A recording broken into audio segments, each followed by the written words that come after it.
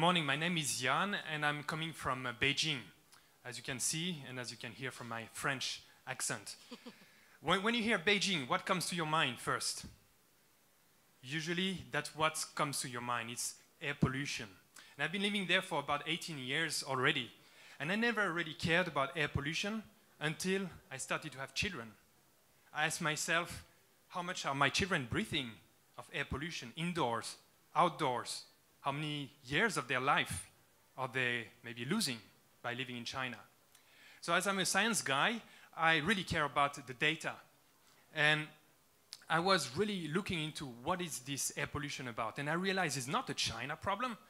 Many places have huge problem. It's actually affecting and killing 7 million people per year. That's more than AIDS, than a car accident and malaria all combined together. So this is one of the major disaster that is currently happening. And so few people yet have access to the data to protect themselves. So I looked for solution. And the only acceptable solution I could find is this big box that you can see behind. So that costs roughly between 50,000 to 100,000 US dollar to operate per year. And that doesn't quite fit in my living room to know the air quality indoors. So I decided to work with uh, my partner, now business partner, to find a very good solution that could bring the cost down, that could have a similar level of accuracy to understand the air pollution. And we decided to combine some of our expertise. So my partner is uh, really good in uh, IoT, in also big data, and we combine also some of my experience in artificial intelligence and quite a few different things together to build the world's most smartest air quality monitor, which you can see uh, right now here.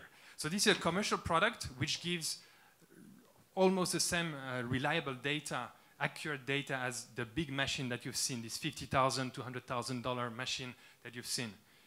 And it really enables people to uh, give them the right level of data so that they can protect themselves. And we've got like quite a few researchers, like about 10 to 15 universities around the world using this as a way to measure accurately the air pollution.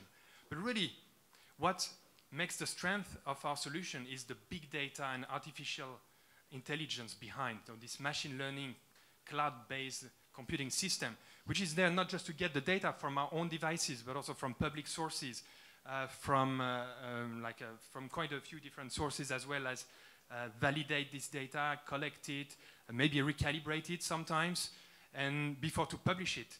And the exciting stuff is this data can be used to activate actions. So like, for example, to ventilate rooms, to start air purifiers based on the learnings of the users.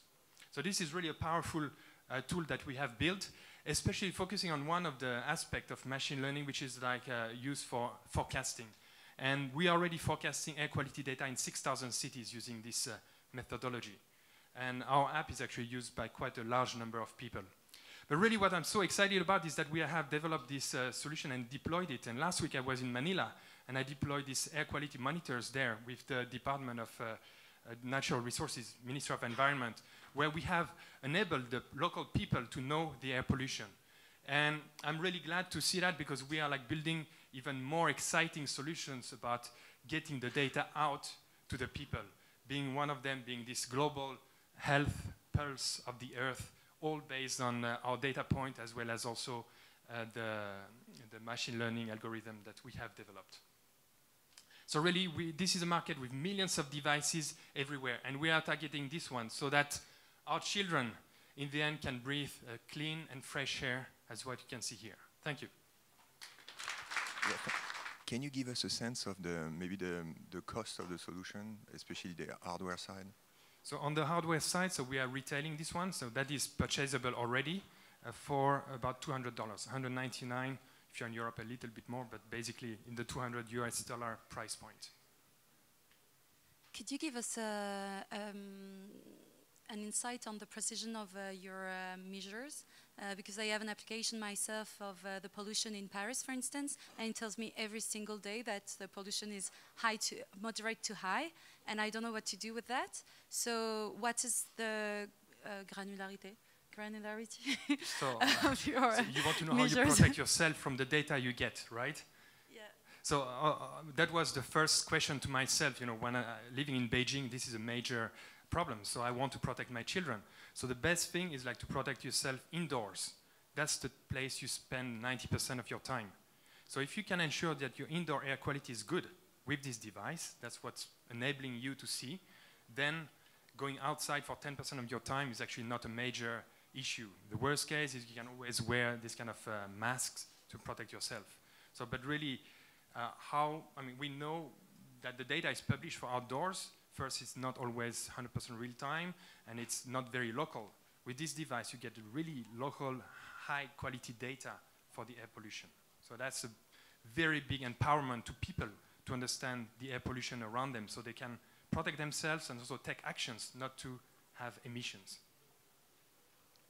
Thomas Trelov from Air Liquide. Um, I mean, you've been starting in Beijing, I guess, uh, and we've been seeing in the picture that basically you can literally see the pollution in the air.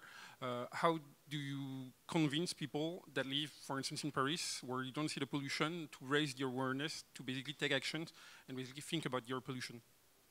Okay, so uh, air pollution is a global problem, and of course, Beijing, Pakistan, India are like really, really bad places from that point of view.